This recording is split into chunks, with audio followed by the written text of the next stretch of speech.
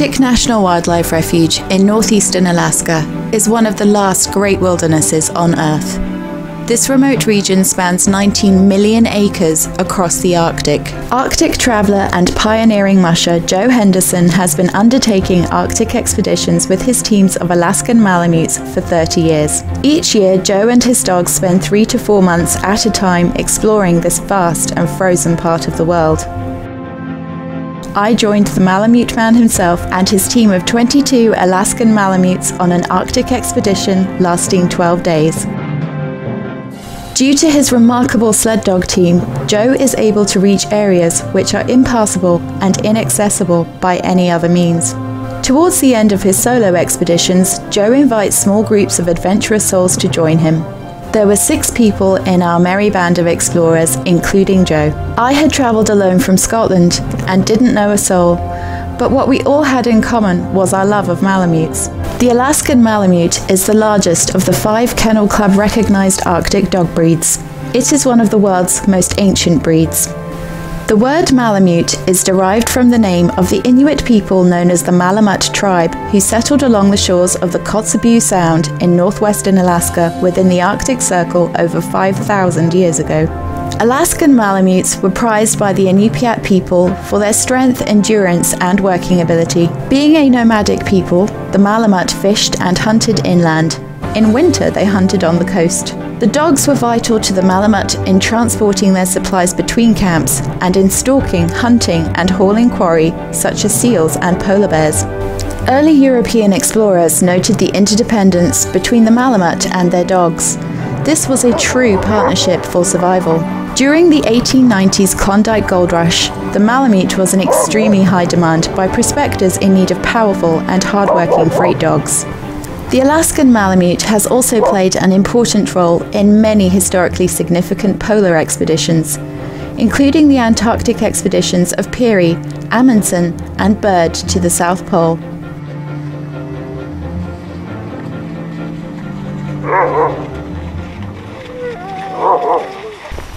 okay, why Okay. The most difficult breed on earth, and you've got 34 of them. Why? The reason I have Malamutes is because they are best suited for for the Arctic. And but it's not the reason I have them, of course. The reason I have them is because they're special breeds. Um, there's no other breed like it. It's very intelligent, very personable, um, loving, loyal, extremely passionate, extremely passionate of their work. I, I train all summer, mm-hmm. all fall, even in the spring. The first three weeks, I think I'm going to die because it's so physical. It's extremely physical. I mean, when you get up 4, 4.30 in the morning, you, you start breaking camp, doing your chores, feeding dogs, and it's 50, 60 below, and uh, it's just, I'll be burning 10,000 calories a day, and then uh, after, after few days, you all goes by, you wonder if you're going to live. But after three weeks, seems like your body adjusts. And the dogs finally are really happy because they get to pull steady every day. And then uh, from that point on, it's it's usually a good 16, 14 to 16 hours a day of, of work. Um, you get up in the morning, you, you break camp, eat breakfast, break camp, feed dogs. Um, travel. It depends on the air humidity, how long you can travel. I know that sounds strange, but uh, the drier it is, less hours you can travel. And as the humidity goes up, you can travel farther. But anyhow, so when you make camp, you have all your chores to do. You have harnesses to fix, lines to fix, dogs to feed. Your sleds need to be turned over and, and scraped clean. Um, set up camp. And then you have to scout for a new route that evening because you just there are so many crevasses and thin ice and rivers and cliffs you just can't wander off. But also I like to find routes through the mountains, pioneering routes, and also I look for landmarks that like Warm Springs that has geological you know significance to them. Last year um, found some new discoveries of some warm springs, a lot of thermals that the state was aware of, and they're interested in mapping them now.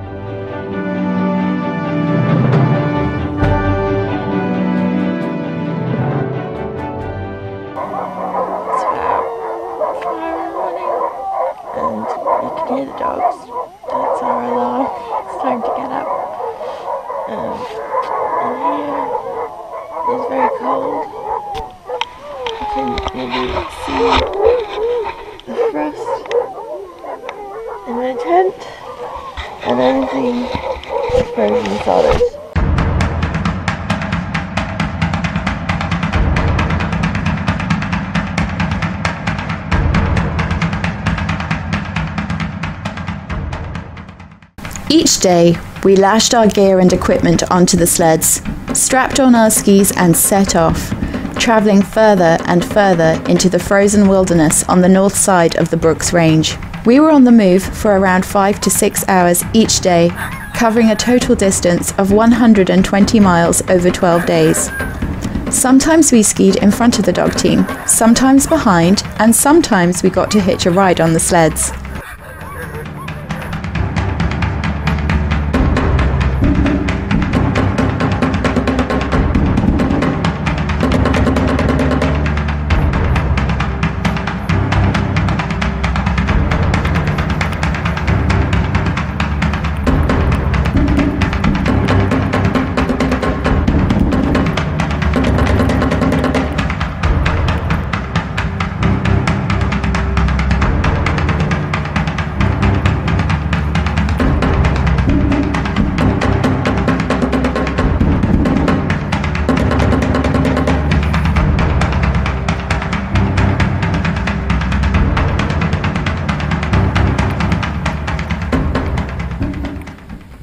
Every evening after the day's exertions, Joe then attended to his dogs and we set up camp.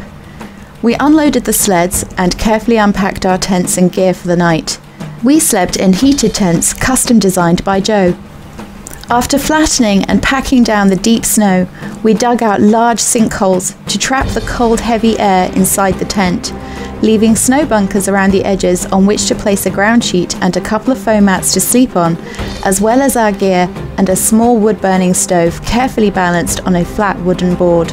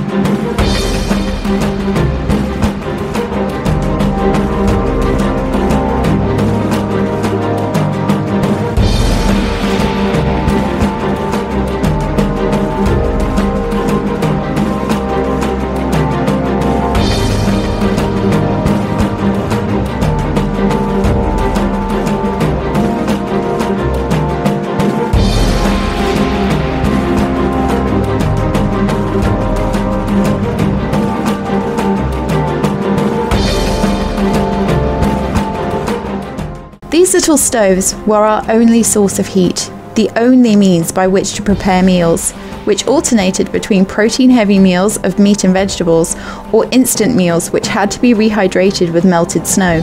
Melting small amounts of snow in a pan over the stove was the only way we could obtain the water we required both for drinking and washing.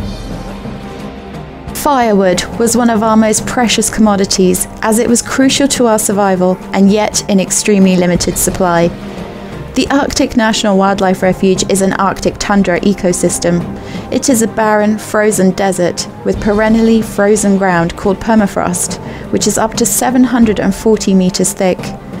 Large expanses of land are almost entirely devoid of trees or shrubs, so whenever we came across frozen creeks, we collected as much wood as we could and carried it with us on top of the sleds.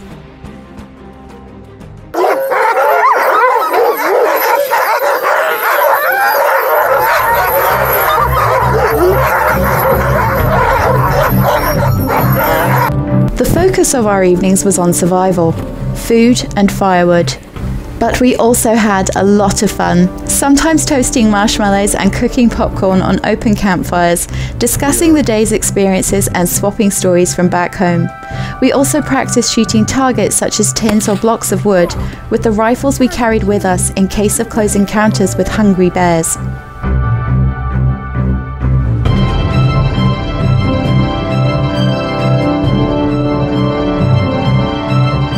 This is Mount Loki. One evening, Joe presented me with the opportunity to name a mountain, and I picked this striking pyramid.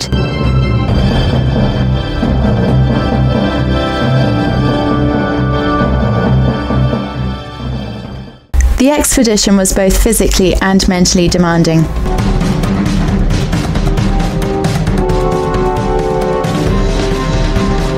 As we continued deeper and deeper into this wild landscape, I became more and more awestruck by the unbelievable strength, stamina, and focus of Joe's dogs. They were pulling sleds weighing around 2,500 pounds over terrain and conditions which varied from hour to hour, day by day. But whether we were ploughing through deep snow, scaling high ridges, or practically skating across sheets of ice over frozen rivers, the Malamutes' passion and sheer joy for their work was obvious.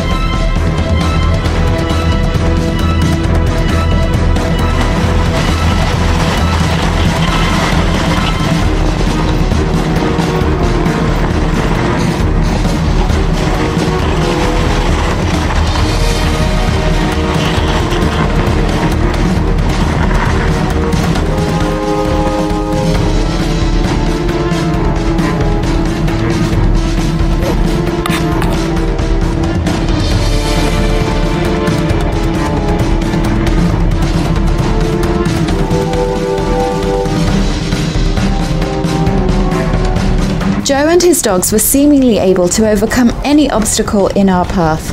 When the sleds got stuck on a ridge and the dogs became tangled in the lines, Joe calmly set about untangling the dogs and adjusting some of the dogs' positions within the team.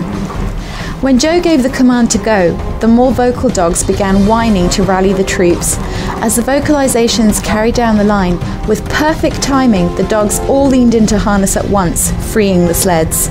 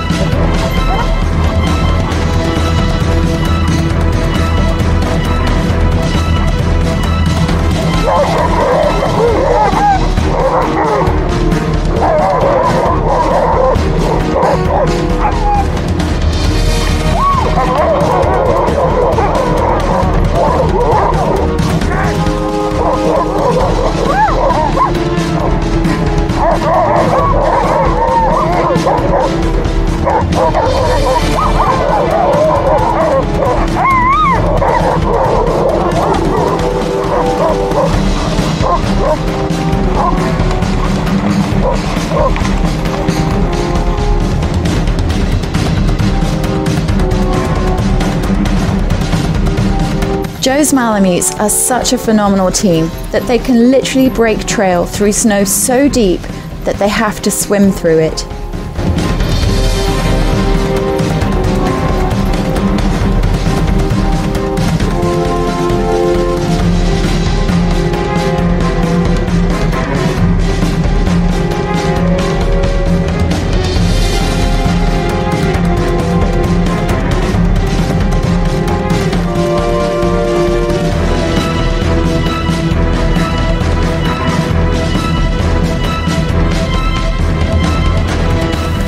Joe's sled dog team consists of 22 Alaskan Malamutes made up of three different sizes. Without this variation in the size and build of the dogs, hauling huge weights in such conditions would be impossible. The first half of the team are breaking the trail, and the second half are the big muscles pulling the weight.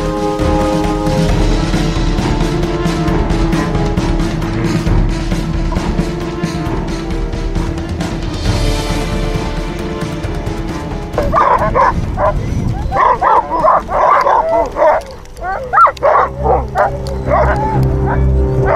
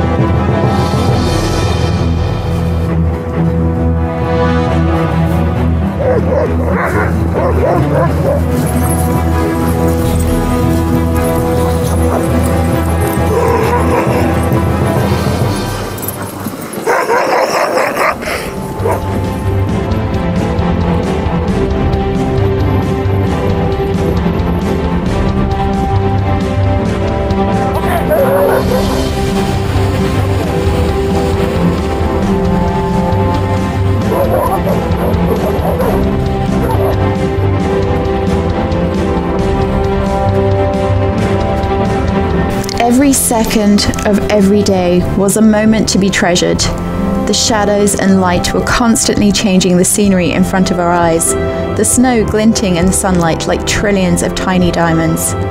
Due to the time of year, the days were long, with the nighttime only lasting around three hours.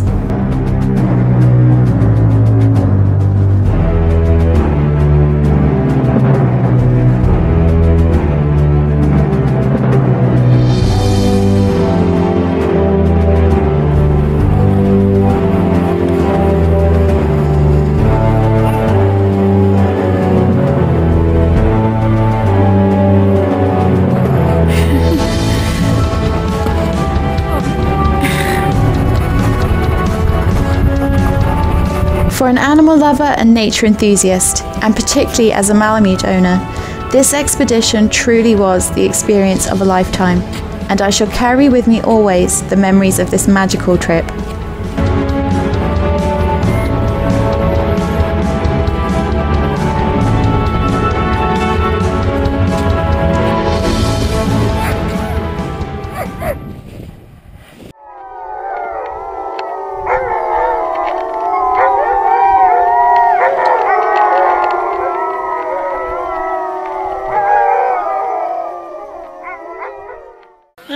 The very last day of the Arctic expedition, and uh, it's been absolutely tremendous.